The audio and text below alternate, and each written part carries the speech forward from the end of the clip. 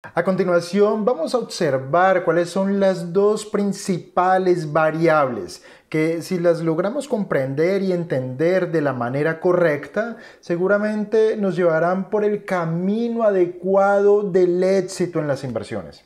Creo que este video será muy interesante, así que comenzamos.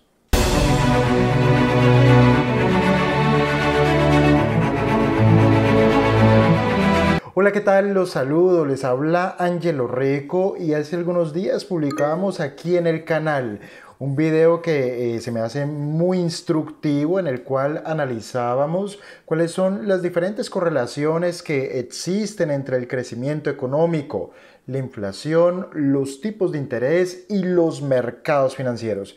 Si no te has visto ese video, te sugiero revisarlo. Lo encontrarás aquí arriba en las etiquetas o aquí debajo en la descripción del video porque es muy interesante. El video que veremos a continuación será una continuación de este video que les acabo de recomendar. Y ahora explicaremos cuáles son aquellas dos variables que todos deberíamos esforzarnos por comprender y entender con el objetivo principal de tomar mejores decisiones en bolsa. Y estas dos variables a las que hago referencia es primero la inflación y segundo las fluctuaciones o la volatilidad o los movimientos alcistas y bajistas a los que nos tendremos que enfrentar en los mercados financieros. Pero vamos a hablar primero de la inflación y para comenzar quiero que observemos con detalle la imagen que estoy mostrando ahora mismo en el cual se muestra de una parte el valor del dólar desde el año 1913 en relación a la oferta monetaria o en relación a la emisión de dinero en los Estados Unidos.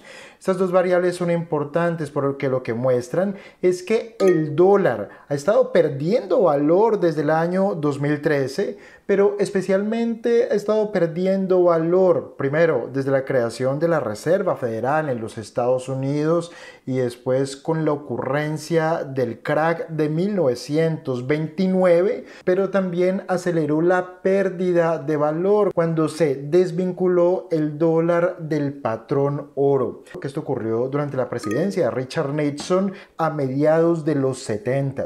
Pero también se puede observar en este gráfico cómo la emisión monetaria durante los últimos 40 años, la emisión de dólares durante los últimos 40 años ha sido creciente y ha aumentado la velocidad. Aquí la asociación principal que quiero mostrar es cómo existe una íntima relación entre la emisión monetaria y la pérdida de valor de las monedas. Estos dos factores combinados nos conducen a la inflación. Y en este sentido, ¿qué es la inflación? La inflación es sencillamente un aumento general de los precios en la economía. O dicho de otra forma, es la pérdida de poder adquisitivo del dinero.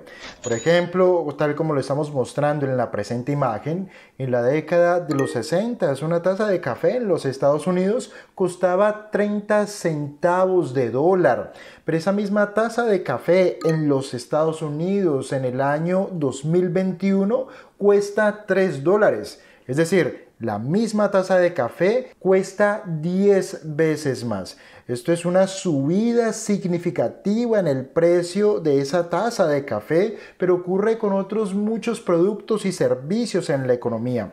Sin embargo, estamos hablando del dólar y estamos hablando de los Estados Unidos.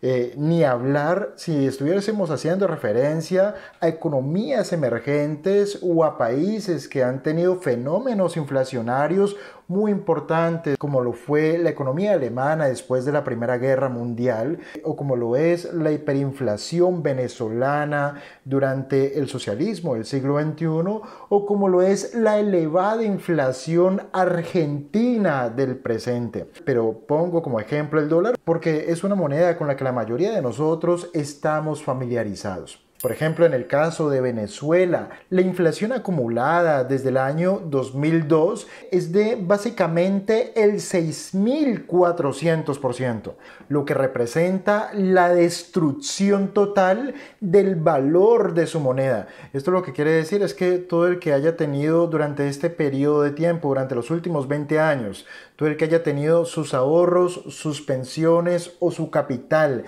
denominado en bolívares venezolanos, los ha visto hacerse polvo o servir prácticamente para nada. Estimados, antes de continuar con este fantástico video, quiero invitarte a que nos sigas a través de nuestra cuenta de Instagram arroba invertir aprendiendo. Desde mi punto de vista es la mejor cuenta de Instagram que en el mundo de habla hispana encontrarás sobre temas relacionados con el trading o con las inversiones. Y no es la segunda, ni la tercera, ni la cuarta, ni la cuarentaava. Es la mejor, es la primera, sencillamente por la gran cantidad de contenido de calidad y el valor que allí aportamos. Revísalo y te darás cuenta de lo que te estoy diciendo. Instagram arroba invertir aprendiendo. Pero volvamos a los Estados Unidos para mentalizarnos acerca del hecho de que operamos o invertimos en entornos inflacionarios. Tal como se aprecia en la siguiente imagen, si hubiésemos tenido 10 mil dólares a principios de la década de los 80, si estos 10 mil dólares los hubiésemos mantenido debajo del colchón, esos 10 mil dólares equivaldrían al día de hoy a 3.196 dólares. Si lo hubiésemos invertido en oro, estos 10 mil dólares actualmente a los precios de cotización actual equivaldrían a 8.726 dólares. Si hubiésemos invertido en propiedad inmobiliaria como una casa de departamentos o locales comerciales, seguramente tendrían un valor aproximado de 14.712 dólares 10 mil eh, a principios de los 80 en propiedad inmobiliaria hoy en día valdrían 14 mil 712 dólares. Pero si hubiésemos invertido estos 10 mil dólares en un fondo indexado al índice Standard Poor's 500 ahora mismo tendrían un valor de 79 mil 148 dólares. Lo que refleja esta imagen es que si sencillamente hubieses dejado tu dinero aparcado o guardado debajo del colchón o aparcado o guardado en una cuenta corriente o de ahorros en un banco, esos 10 mil ahora mismo valdrían 3 mil dólares. Sencillamente porque el dólar ha perdido valor y ha perdido valor primero porque se han impreso muchísimos dólares, pero de hecho la inflación se ha acelerado muchísimo producto de la política monetaria expansiva que se ha puesto en marcha después de la aparición del COVID y con el objetivo principal de evitar una crisis económica y una crisis en los mercados financieros. Solo por ponerles un ejemplo real, durante los últimos 45 días han subido otros mil dólares el costo de transportar un contenedor de mercancías desde el puerto de Shanghai. Actualmente ese costo asciende a 14.500 dólares. Antes de la crisis ocasionada por el COVID, el costo de transportar este contenedor era de 2.000. Lógicamente, el transporte de mercancías, su costo es un costo que al final termina repercutiendo en el precio de los productos que circulan en la economía. Si sube el transporte, sube absolutamente todo lo demás. Y para seguir con el tema de la inflación y teniendo en cuenta que la inflación es un fenómeno monetario, aquí lo que estamos viendo es cómo ha subido el M1. Y la subida del M1 lo que nos refleja, el M1 es la masa monetaria, lo que nos refleja es cómo la impresión de dinero ha subido o ha acelerado durante los últimos meses. Observen que después de la crisis del 2008, la impresión de dinero aceleró hasta el año 2020. Pero observen lo que ocurre a partir del año 2020. Prácticamente la impresión de dinero nos muestra un movimiento alcista vertical y rápido que lo que indica es como la Reserva Federal ha impreso muchísimos dólares para rescatar a los mercados y para rescatar también a la economía. Entonces, lo que tenemos que tener en cuenta los inversionistas es que nuestras inversiones deberían obtener un rendimiento superior a la inflación. La inflación es un fenómeno monetario que erosiona nuestra capacidad de compra y la única forma de evitar la erosión del poder adquisitivo de nuestros ahorros, de nuestro capital y de nuestro dinero es a través de la inversión.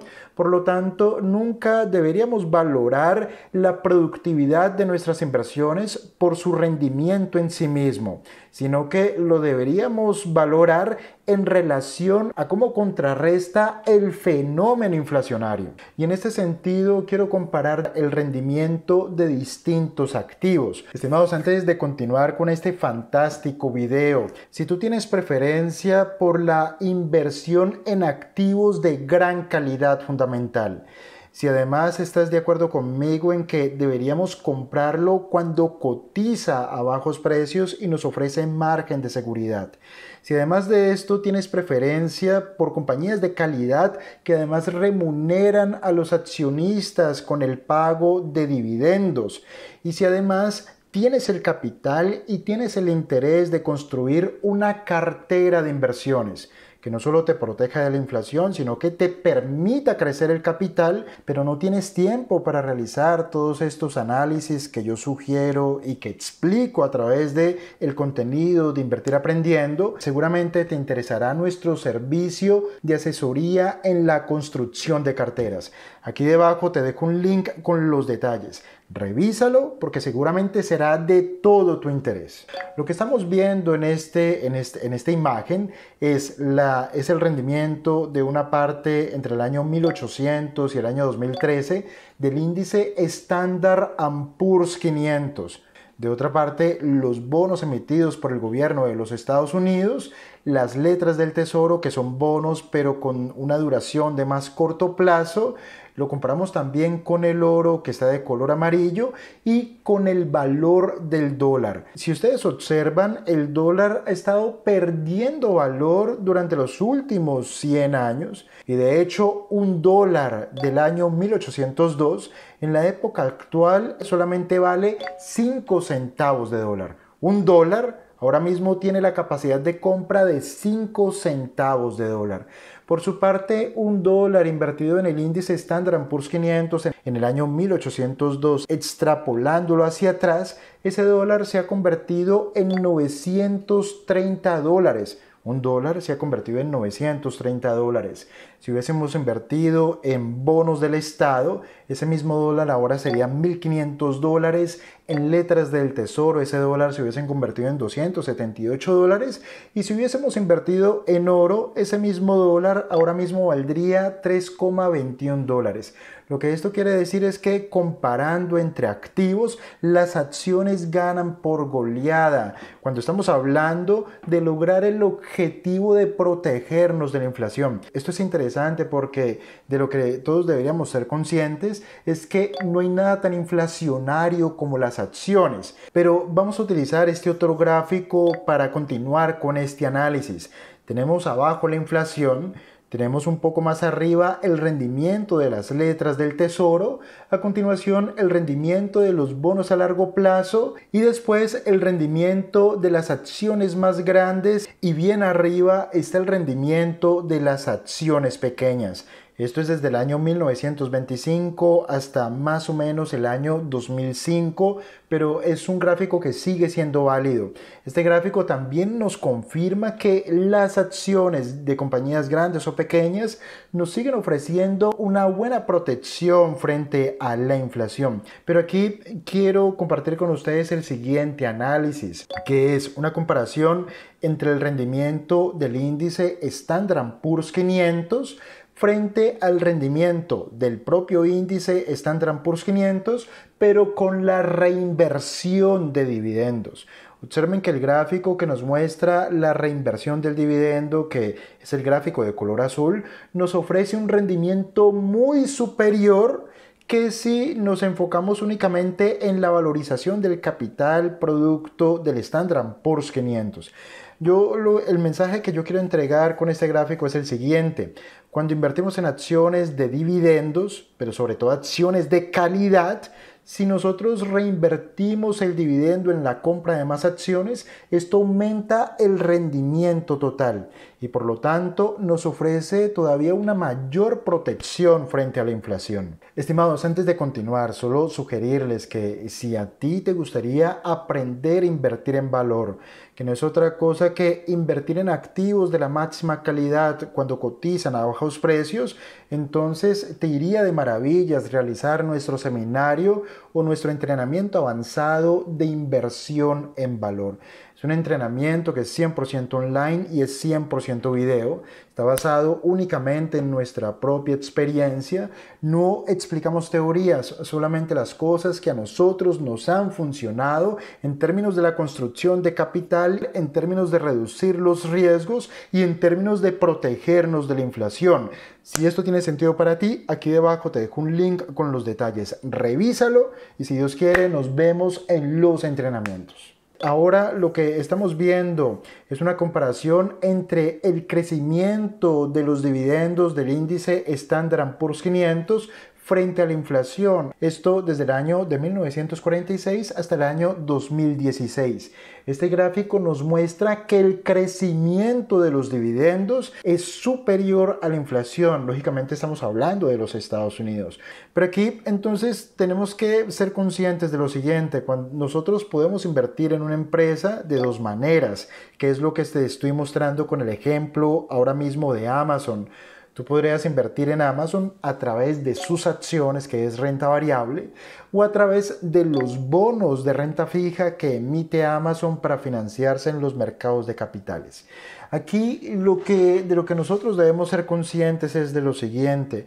Cuando invertimos en acciones, estamos invirtiendo en algo que crece y nosotros somos propietarios de una parte del capital de esa compañía. Pero cuando invertimos en bonos de esa misma empresa, cuando invertimos en títulos de renta fija, lo primero, estamos invirtiendo en algo que es fijo, no es algo que nos ofrece crecimiento. Las empresas crecen, si son de calidad, crecen. Pero en este caso, a pesar de que Amazon es una empresa de calidad, el instrumento de inversión que estamos utilizando es fijo el rendimiento es fijo, no es un rendimiento que crece. Esa es una claridad que todos debemos tener en cuenta, sobre todo si como vimos anteriormente, la renta fija no nos protege lo suficiente de la inflación. La segunda cuestión que tenemos que enfrentar los inversionistas son las fluctuaciones en el mercado. Observen que lo que acabamos de ver es que el potencial de la renta variable es muy superior al potencial de rendimiento de otro tipo de activos como la renta fija o el oro. Pero eh, la realidad es que este mayor potencial de rendimiento nos cobra un peaje en el corto plazo. Y ese peaje viene en la forma de fluctuaciones. Es decir, el precio de las acciones no cotiza de manera lineal, sino que cotiza con fluctuaciones o con volatilidades hacia arriba y hacia abajo.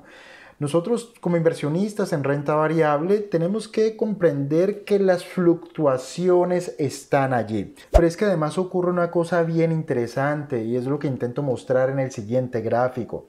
Si nosotros aprendemos a convivir con las fluctuaciones, pero además si estamos invirtiendo en acciones de la máxima calidad, si entendemos que cuando eh, estas acciones de la máxima calidad fluctúan fuertemente hacia abajo.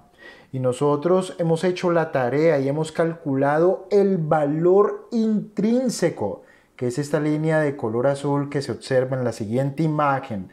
Y nos enfrentamos a esta fluctuación hacia abajo, esa diferencia entre el valor intrínseco y la fluctuación bajista, la deberíamos entender como una oportunidad de inversión. ¿Por qué? Porque estaríamos teniendo la oportunidad de invertir con lo que se conoce como margen de seguridad, que no es otra cosa que comprar activos de la máxima calidad cuando cotiza a bajos precios. A esto se le denomina invertir en valor. El hecho es que tenemos que aprender a convivir con las fluctuaciones porque para llegar al largo plazo, que es ese momento del tiempo cuando los activos expresan o despliegan su máximo potencial, para poder transitar a largo plazo, tenemos que transitar por las fluctuaciones del corto plazo. En el largo plazo, los mercados tienden a darle a los activos su verdadero valor fundamental. Pero en el corto plazo ocurrirán fluctuaciones y si esto lo sabemos utilizar, pues evidentemente nos podremos beneficiar.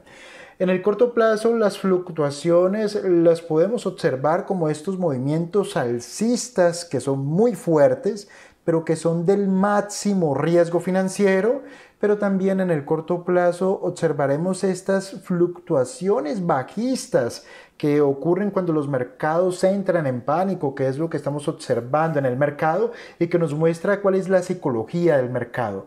Por supuesto que cuando estamos en fluctuaciones bajistas, producto de pánico en los mercados, estos son los momentos de máxima oportunidad financiera porque es cuando los precios se mueven muy por debajo del valor fundamental de los activos. Y cuando realizamos compras en este tipo de entornos, no solamente nos estamos protegiendo de la inflación, sino que estamos aumentando el potencial de rendimiento de nuestros activos. Y para finalizar, volvemos al video anterior donde observamos la relación entre el crecimiento económico, la inflación, los tipos de interés y la renta variable. En este momento la renta variable está en máximos, los tipos de interés están en mínimos y la inflación está en máximos. Es muy probable que estemos cerca de una subida en los tipos de interés y en ese sentido probablemente estamos cerca también de muchísimas oportunidades.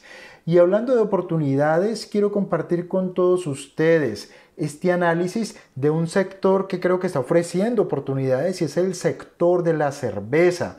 Este análisis es interno de Experium Capital Markets y en él comparamos a la Budweiser, a Heineken y a Boston Beer Company, así que acompáñenme.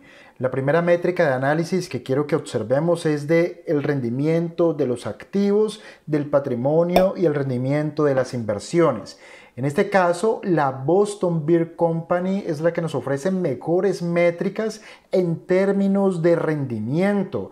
Y a continuación le sigue la Budweiser y queda en último lugar Heineken. Entonces, por rendimiento gana Boston Beer Company y de segunda Budweiser. A continuación, veamos otras métricas que tienen que ver con el endeudamiento. En el caso de la deuda, también la Boston Beer Company nos ofrece los menores niveles de rendimiento en relación a su equity o a su capital. En segundo lugar está Heineken y en último lugar está la Budweiser. Esto lo que quiere decir es que a primera vista la compañía con mayor relación de deuda es la compañía Budweiser. Y a continuación lo que quiero observar con ustedes es, son los márgenes bruto, operativo y neto. En este caso sí que gana la partida la Budweiser Está en segundo lugar la Boston Beer Company y en último lugar la compañía europea Heineken. Y ya para finalizar vamos a ver los ratios que son Price to Earnings, el Price to Sales y como ves el Enterprise Value frente al EBIT y el Price frente al Free Cash Flow. En prácticamente la totalidad de estos ratios nos ofrece la mejor valoración relativa la compañía Budweiser si me lo preguntan en relación a todas estas variables de análisis, la que mejores oportunidades nos ofrece es la Budweiser. Si ustedes lo recuerdan, en el video anterior en el cual analizamos la relación entre economía, inflación, tipos de interés y los mercados financieros, al final analizábamos las compañías cerveceras. Vayan a ese video porque en ese video realizamos el análisis gráfico. En este video estamos haciendo la comparación fundamental. Lo que a mí me gustaría que ustedes compartieran con nosotros es desde el punto de vista de ustedes, cuáles son las otras variables fundamentales que deberíamos tener en cuenta para analizar estas tres compañías cerveceras? ¿Cuáles otras variables fundamentales desde el punto de vista de cada uno de ustedes deberíamos incluir en el análisis para mejorar la calidad de nuestras decisiones?